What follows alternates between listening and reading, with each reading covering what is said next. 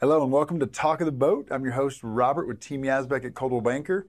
Uh, today we have an Ask Me Anything episode with our very own Cole Helberg, Hello, everyone. buyer specialist of Team Yazbeck. Thanks for being here. Of course, always fun. Uh, we've got a bunch of questions today. Cole's going to ask me questions that sellers have been asking us, and I'm going to ask questions of Cole that buyers have been asking.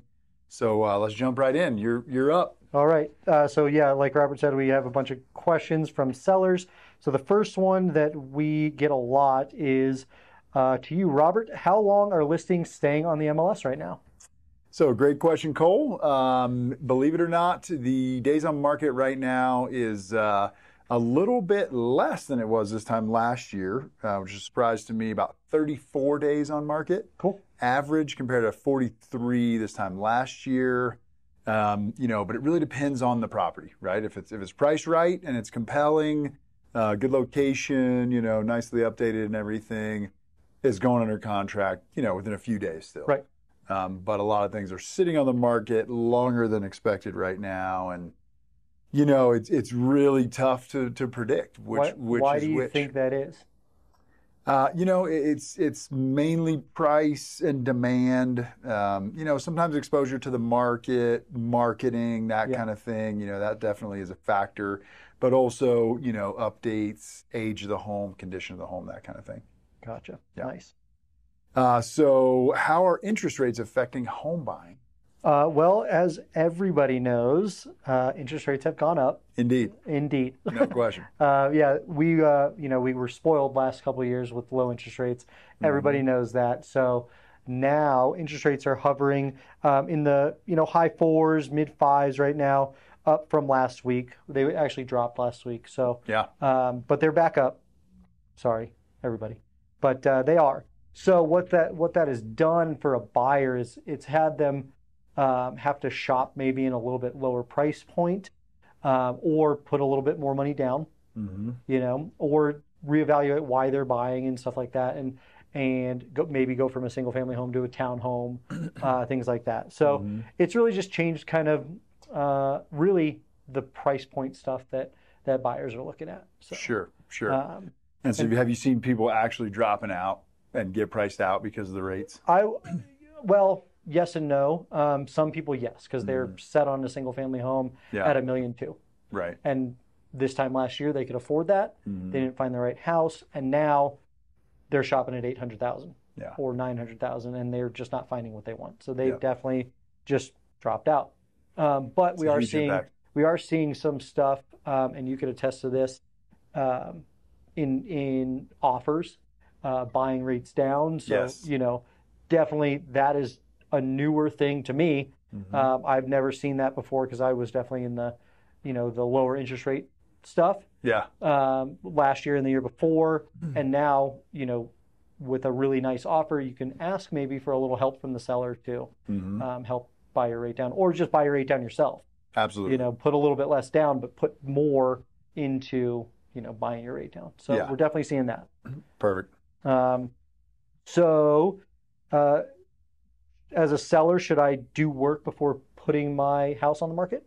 Absolutely. Yeah. My, my question, my answer is always going to be yes to this. Uh, it's really important to have your property looking as good as possible before you put it on the market. You know, even with really low inventory, you know, there's there's just always um, there's always other options, right? And and there's a, a much larger buyer pool of people that are looking for a property to be updated and you know clean and ready and you know no deferred maintenance and that kind of thing. So no question about it Agreed. definitely do work to the house. Yeah. And, you know, we've just seen four or five years of appreciation in two years, you know. So you've Yeah. got the opportunity, if you're selling right now, to really cash out at a really good number. So Yeah, the I money agree. you put in your house right now, you're still going to get out. I agree. And as a and from the buyer side of that, Mhm. buyers are still paying more for done. Absolutely. So yeah, Yeah. if you have the bandwidth and the ability to do it, I agree with that. and it's tough to do here, and it's one of the things we've set out to, to, you know, one of the problems we've set out to solve. We've got a, a good network of contractors and Mhm. subs and tradespeople now,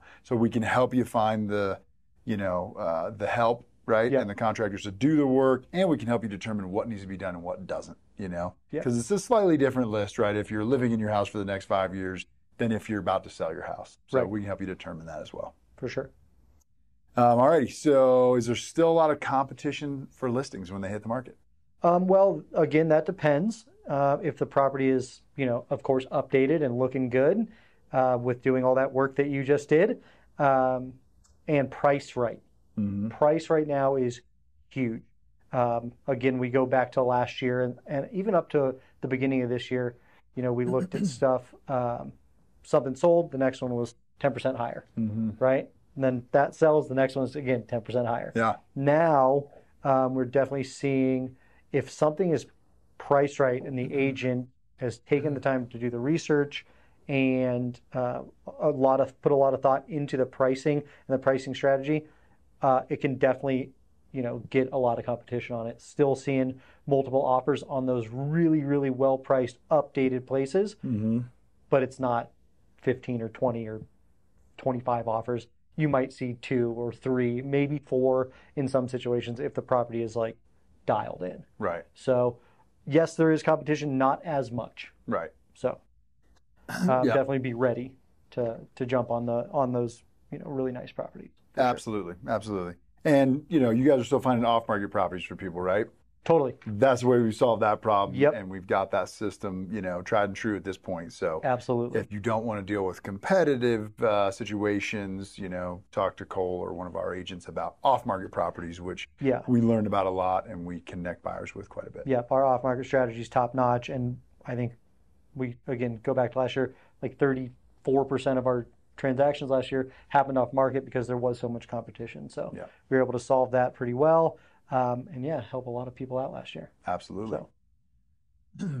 Um, let's see. So, Robert, as a seller, should I clean, organize, and put away all my stuff for photos and for showings and whatnot? Absolutely. Yeah, no, no question about it. Uh, the, the personal photo thing, you know, is, I, I used to think it was kind of just, uh, you know, staging gimmick or whatever, right? And maybe not that important, but you see it, right? The more you show property, the more you see people really do get lost looking at other people's personal photos, you know? And Absolutely. At the end of a long day, maybe the kids are crying and they're getting hungry and you're out trying to show one more house, you know, and the buyer's focused on do they know the seller and do they, you know what I mean? Who's that in the picture there or Right. whatever? And they're not really taking in the house and thinking about the views and the floor plan and that kind of thing. Right. So it's distracting too much personal stuff. Can I add something to this? Yeah. Um, what if my house is vacant?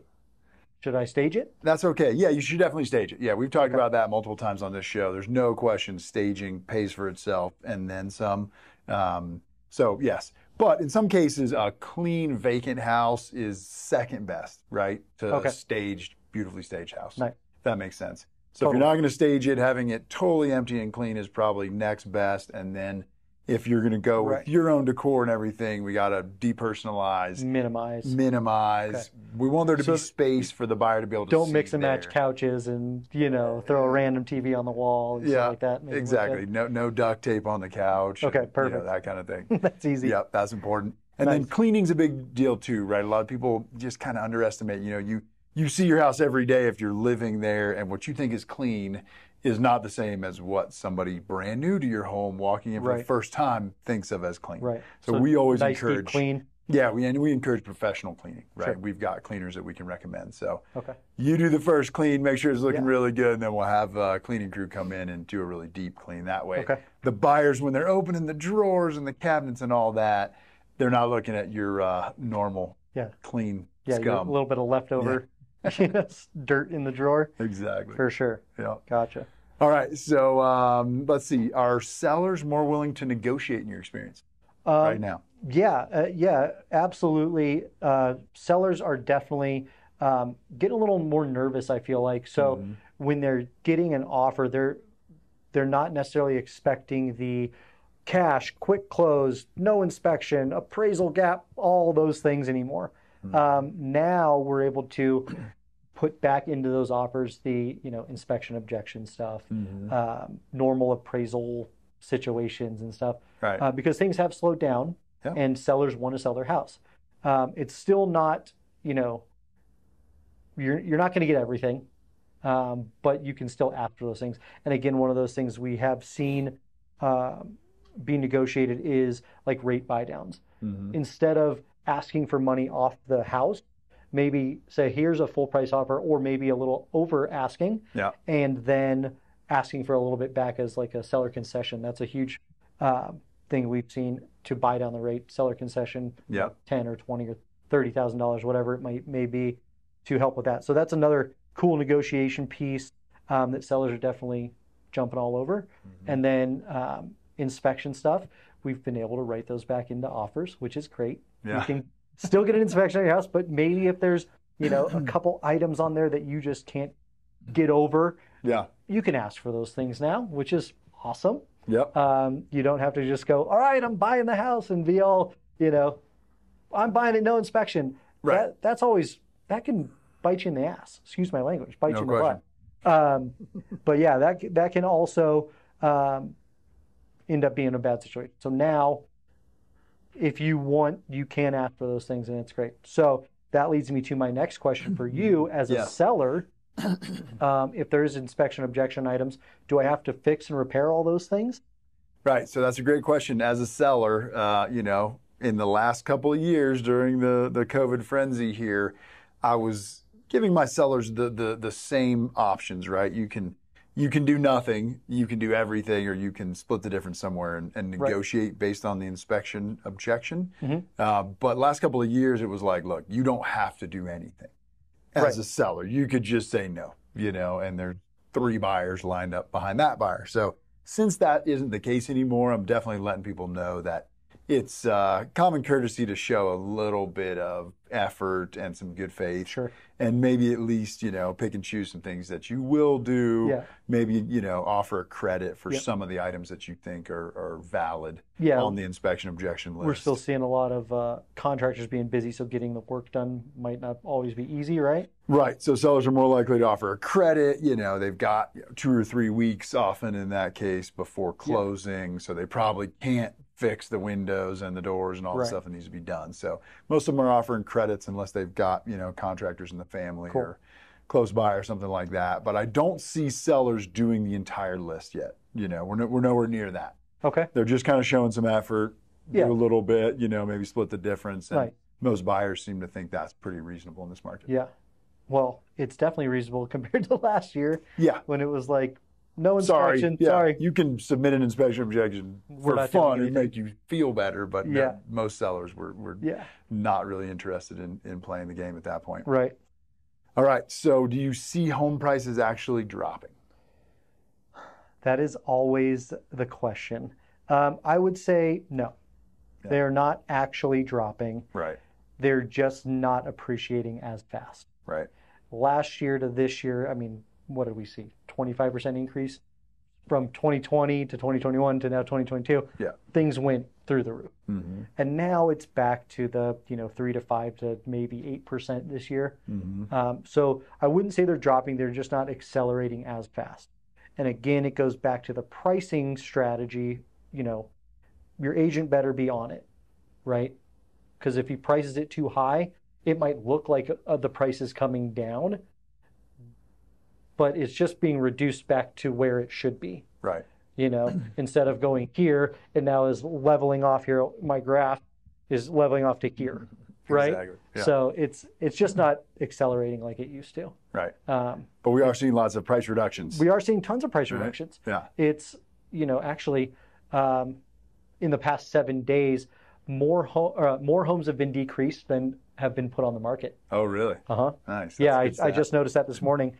Um, I think thir- call it 34, I think, and then the number of price reductions was 42 Right. in the past seven days. So Interesting. that's interesting. Yeah. That just means, to me, what that means is some agents are still thinking they can go, well, I'll just price it 10% higher than the last one. Right. And that's just not happening anymore. I think it just is, is leveling off Yeah. um, and being a little more realistic market, Sure. you know? You can't blame the sellers uh, you for blame trying, though, right? You know what I mean? Because we, we've seen it happening for so long. Yeah. And in certain sectors of the market, certain developments, like we said, something that's modern and, you know, Yeah.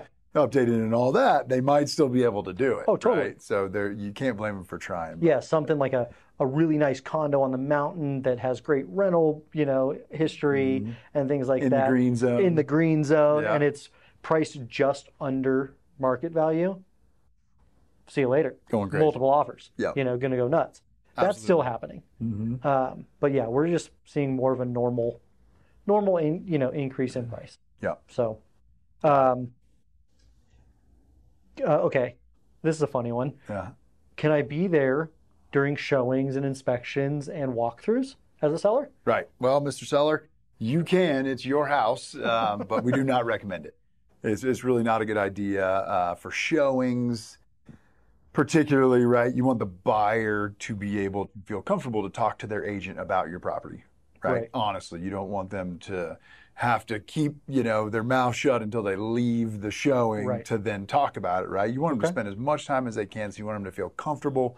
So not being there for showings is really important. Uh, inspections, you know, we don't recommend that either. Uh, the inspector usually doesn't uh, get a lot out of that, and it's really hard to kind of, you know, keep your your lips shut during the inspection Yeah. as well. And oftentimes the buyer wants to be at the inspection, so it's basically like another showing. Right. So okay. giving them the the space typically to speak with their inspector freely and everything is, Okay. is key. And walkthrough, same thing. You know, um, that's more of a agent thing. You know, um, at that point, you're you should be good to go. If you got something to be worried about, then you know maybe you be there and yeah. distract. You know, Yeah. or something. Or, or at least clear it up. You know, like show them, oh, hey, Yeah. we actually did do this work or something. yeah, but it's a better job for your for your agent. Okay. You know what I mean? If there's something that needs to be explained at the walkthrough or whatever, Have and you the got a decent agent, have them do it. Okay. Have them show up and represent you. That's why you've hired them. Solid. Yeah. Awesome. All right. So, what is the difference between a buyer's agent and a transaction broker?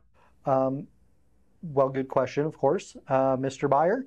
A- As your buyer's agent, I can, uh, you know, negotiate and advocate for you, and and really, you know, put my feet in the grindstone when negotiating. Mm-hmm. And then as a transaction broker, um, your once buyer's agent now becomes a neutral party.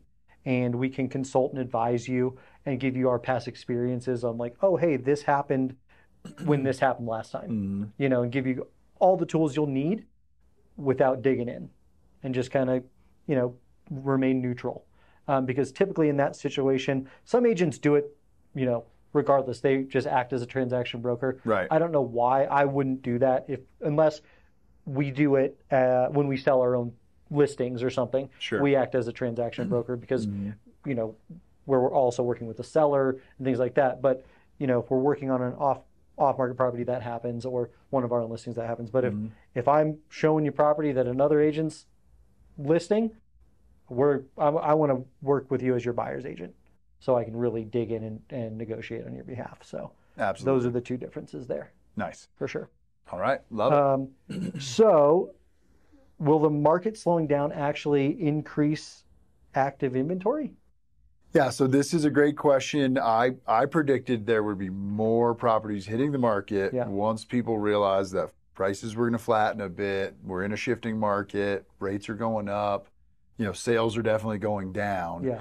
I thought we'd see more inventory at, at this point already, right? But a lot of people are just staying put and don't know where to go. And because of, you know, the inventory issue, wherever they would move, right? They they don't feel confident in being able to cash out and find something. So as of now, we're about flat this time, Mm-hmm. you know, as we were last year, which is crazy because this time last year was, you know, record lows, basically nothing on the market, you know. Yeah. So we're really in the same boat. Um, pri- you know, sales have slowed down. We've seen a little bit of, you know, inventory coming on um, that is led by the pricing and, Sure. and just the market. I think last year, too, the it wasn't that there was no inventory; it was just selling too fast That's to right. be considered right. on the market. You're right. And there was a lot of off-market transactions happening. Mhm. So yeah, there it looked like on paper there was no inventory, right? Yeah. But No, was, it was right. just selling fast. that many more sales were happening because that many more off market sales were happening. Right. More people are maybe coming to market now, but the active inventory, Right. what you see on the MLS right now, is about flat, um, you know, year over year. So I don't think it's going to increase the active inventory because the main reason is they're not building new inventory fast enough, particularly in our market. I mean, even nationally, that's still not happening Right. And there's you know huge developments being built all over the place, right? Yeah. Little old steamboat. Uh, there's a lot of high end stuff being built, but there's hardly anything being built that's affordable and you know the Brown Ranch and some of the West End neighborhoods are years out still, right? Right. So we don't really see that you know coming into play for quite a while. So. Yeah. Unfortunately, I don't think the inventory is going to increase anytime soon Yeah. but it may slightly. It would take, you know, a lot of people putting their house on the market and a lot less sales happening for there to be any impact, Yeah. For it to like, meaningful. be a neutral market or even shift to a buyer's market, it Yeah, would, it would have to be a lot of inventory. we got a long way to go. Yeah. yeah. Supply and demand is is in full effect. You Yeah. I would say so. Yeah. But I would still say it's still a good time to buy. Oh God, yeah. You know, um, being that there's not a lot of not as much competition Mm-hmm. and sellers are willing to negotiate. I would still say even though supply and demand, you might have to compete here and there, but Yeah. not like last year. Man, Right. it's a breath of fresh air. Oh yeah, there's no question sure. about that. Yeah, so so there's definitely some relief for buyers, I guess, Yep. is what you're saying, and I totally agree with that. Mark and I were talking about it too. Some sellers, you know, either feel really fortunate that they made so much money in so little time, right, in their their home's equity, that they're willing to kind of, you know, be a little reasonable, come Right. down the price, whatever. And some sellers are are nervous, right? I mean, Totally. heading into a recession, is it a housing crisis and all Yeah. that, right? We don't think it is, but there, there's a lot of sellers that are concerned Yeah. about that, that they may actually lose all this equity, you know, that they just Right. gained, right? Yeah. So there's deals out there for buyers. For sure. No question. Absolute deals to be had. Yeah. So Nice. Yeah. All right, buddy. Thanks for being here. I Yeah, appreciate it. Thank you all for joining us. I believe this was episode 28 of Talk of the Boat, and we will see you next week. Thank you so much for joining us for another episode of Talk of the Boat. Uh, if you enjoy this content, please subscribe on whatever uh, platform you're, you're viewing, like, and uh, share with somebody else you think might enjoy it. We'd really appreciate that. Also, if you have any real estate related questions that you'd like us to answer on the air, uh, please send those to us uh, by email, text, or direct message. And as always, if you have any real estate questions or needs that we can help you with, please reach out. Thank you.